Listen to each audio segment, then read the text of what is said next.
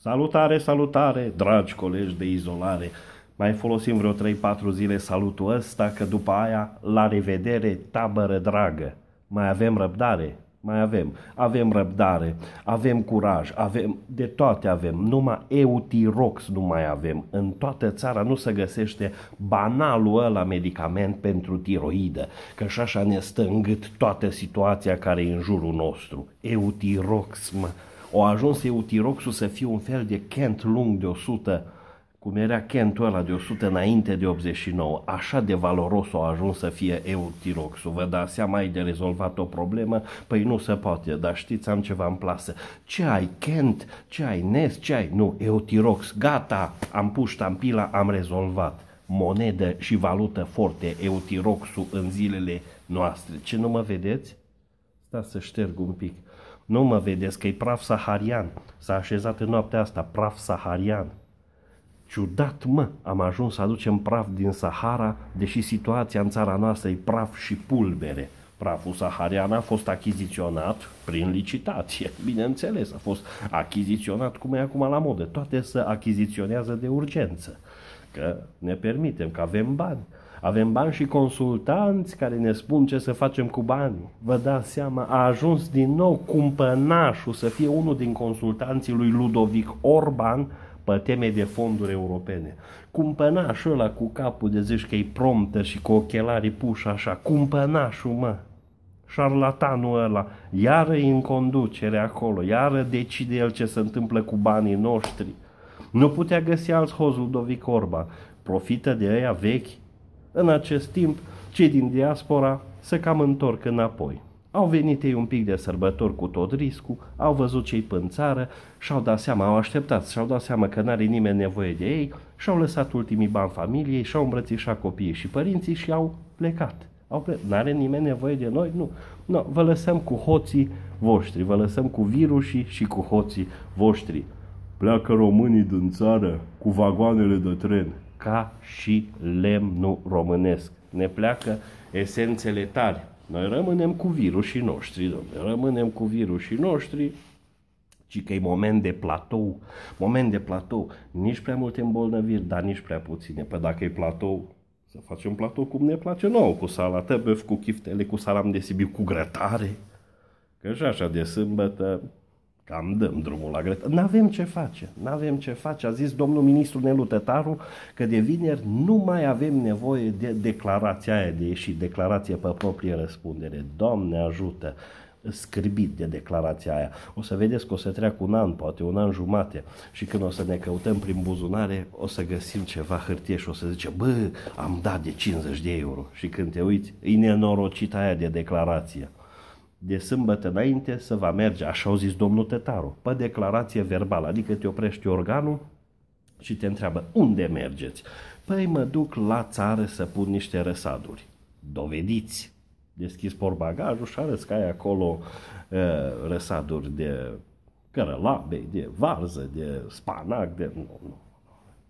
Domnule, trebuie făcut altfel. Eu așa procedez și așa vă sfătuiesc pe voi.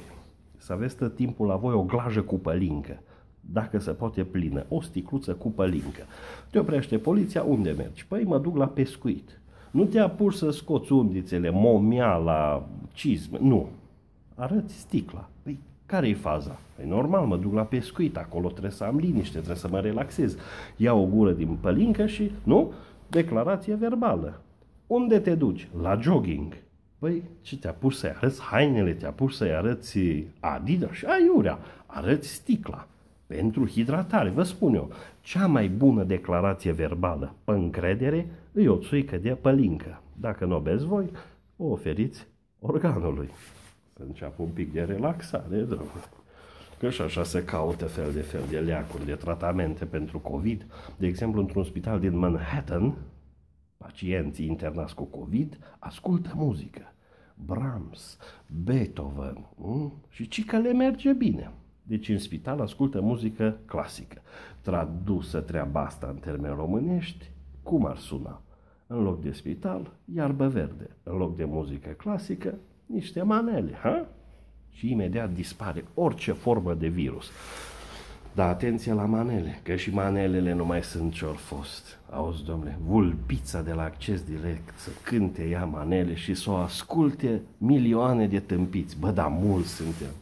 Ce piese are Vulpița renumită are, și am rupt la București. Da, da, da, da.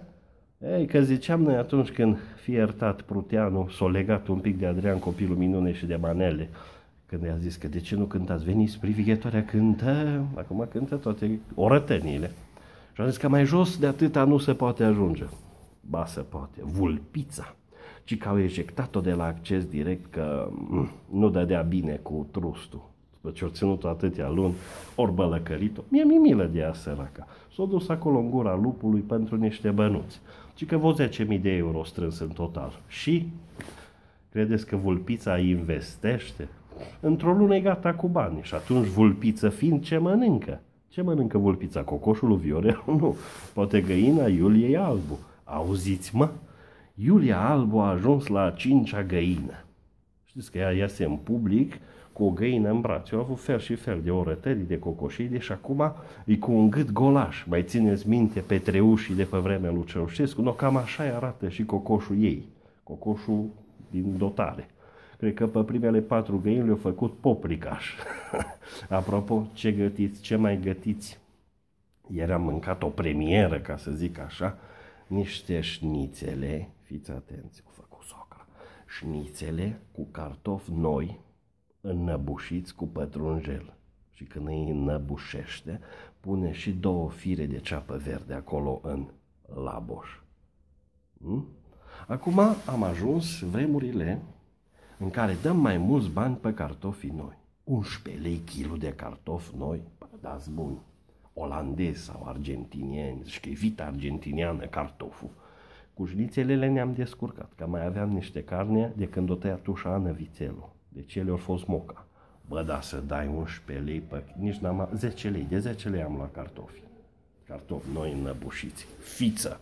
Cartofii noi sunt noile cireșe de mai. Azi ce gătește, nu gătește nimic. Stă cu ochii pe ușă, cu ochii pe ceas, că vine poștașul cu pensia. La prânz vine poștașul cu pensia, astăzi eu gătesc. Mă duc să iau ceva pizza. Doare, doare din pensia aia să faci un pic de parte și pentru moi. Că nu deja mai fac atâta reclamă aici, pozitivă, negativă.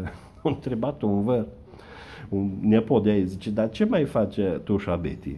Ce zic, nu știu, uite-te pe videourile mele. Am divagat prea mult. Grija la praful saharian, că e numai praf în ochii noștri, ca să facă ei hoțiile. Un avion. Semne bune anuare. Se relansează și economia, se relansează turismul, se lansează... Ăsta e avion de la mare. Oare stewardezele cum sunt îmbrăcate acum în avion? Au și ele mască și Către Grecia s-a dus. Către Corfu. Aiurea. S-a dus să aducă niște echipamente umanitare cumpărate prin licitație sau fără licitație, prin achiziție publică. Că așa-i treaba. Atenție la praful saharian și la praful din ochii noștri. O zi frumoasă și îmi cer scuze că v-am reținut și azi. Sunt trei ceasuri rele, dacă scădem din ele cele 9 minute pe care le-ați petrecut aici alături de mine, mai rămân 2 ore și 51 de minute cărora să le facem față cu brio. O zi frumoasă, dragi colegi, de izolare.